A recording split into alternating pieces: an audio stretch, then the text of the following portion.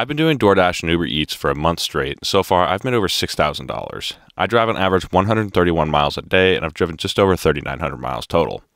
The only maintenance I've had done so far is an oil change. I get my oil changes done for free, but I'm going to put in my total expenses as $60 because most people would have to pay for it. That included, I also spent $25 a day on gas, so in 30 days, I've had $810 in expenses.